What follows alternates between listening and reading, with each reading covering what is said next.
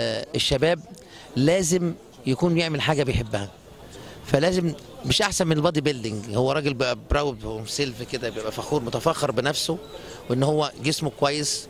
فمن خلال عشان يبقى جسمه كويس لازم ليها متطلبات. فطبعا بياكل كويس بيشرب كويس بينام كويس فبالتالي صحته بتبقى كويسة. في النهاية بيبقى إيه؟ لو راح شغل بيبقى مركز. لو بيذاكر بيبقى مركز. لو رايح مدرسة بيبقى مركز. يبقى في النهاية بناء شباب جسم سليم عقل سليم يدينا في الآخر وطن سليم. هو ده الهدف من القصة كلها.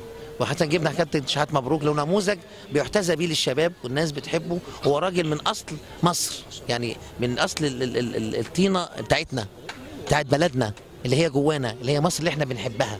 حابب تقول إيه للشباب دايرتك ربنا يخليكم ليا. ويكون يا رب عند حسن ظنهم وإن أنا أطلع منهم رجال للمستقبل ويبقى ذخيرة مصر اللي تعتمد عليها في السنين القادمة.